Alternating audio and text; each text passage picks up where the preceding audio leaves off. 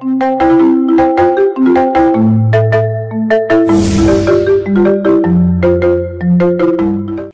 पार्वती माता स्नान करने के लिए गईं, लेकिन वहाँ पर कोई भी रक्षक नहीं था। इसीलिए उन्होंने चंदन के पेस्ट से एक लड़के को अवतार दिया और उसका नाम गणेश रखा। माता पार्वती ने गणेश को आदेश दिया कि उनकी अनुमति के बिना किसी को भी घर के अंदर न आने दिया जाए। जब शिवजी वापस लौटे तो उन्होंने देखा कि द्वार पर एक बालक खड़ा है और जब वो अंदर जाने लगे तो उस बालक ने उन्हें रोक लिया और जाने नहीं दिया। ये देखकर शिवजी क्रोधित हो गए और उन्होंने अपने सवारी बैल नंदी को उस बालक से युद्ध करने को कहा। पर युद्ध में उस छोटे बालक ने नंदी को हरा दिया। ये देखकर भगवान शिव जी ने क्रोधित होकर उस बाल गणेश के सर को काट दिया। अब माता पार्वती वापस लौटी तो वो बहुत दुखी हुई और ज़ोर ज़ोर से रोने लगी। शिवजी को जब पता चला कि वो उनका स्वयं का पुत्र था तो उन्हें भी अपनी गलती का एहसास हुआ। शिव जी ने पार्वती को समझाने की बहुत कोशिश की पर वो नहीं मानी और गणेश जी का नाम लेते लेते और दुखी होने लगी। अंत में माता पार्वती ने क्रोधित होकर शिवजी को अपनी शक्ति से गणेश को दोबारा जीवित करने के लिए कहा।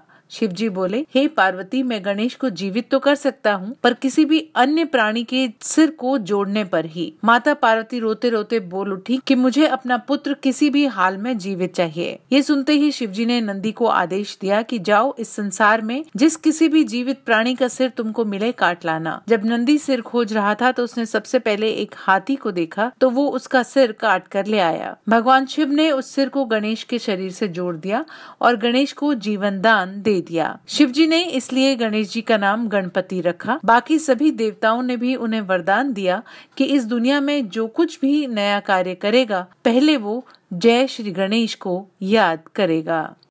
अगर आपको हमारा वीडियो पसंद आया है तो आप हमारे YouTube चैनल को सब्सक्राइब करना न भूलें।